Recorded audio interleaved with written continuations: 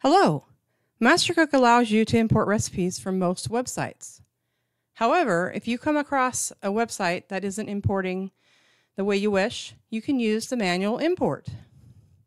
So click on the MasterCook add-on and select manual import.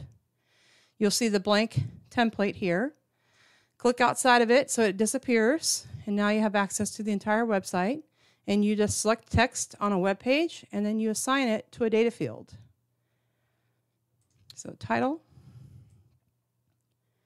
add this as notes. And you can even capture an image.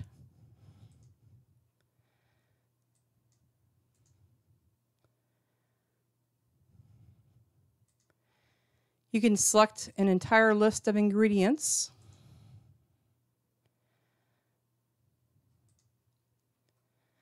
And you will also notice that as you're selecting text, you'll see these check marks, and those check marks show you what data fields have already been captured. So once you have tagged all the recipe parts, you click on the MasterCook icon, and it will bring up the import window, and it'll show you the text that you've captured. So select a cookbook in your online account, and then you can save the recipe.